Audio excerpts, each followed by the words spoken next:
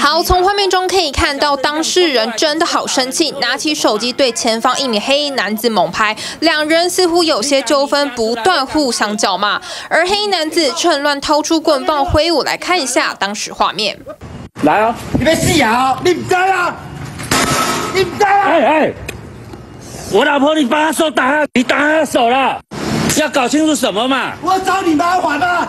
这起冲突事件发生在十七号基隆仁爱区仁义路上，一名张姓民众发现有名酒醉男子不断在大街上咆哮，当下好心提醒不要这样做，会吓到人，结果引起对方不满，拿出棍棒乱挥攻击，造成一人受伤，连公车站牌无辜被敲打出一个洞。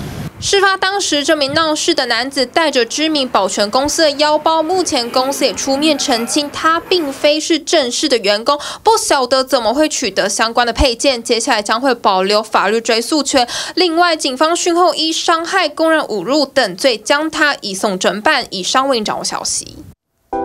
想看最完整的新闻内容，记得下载 TVBS 新闻网 APP。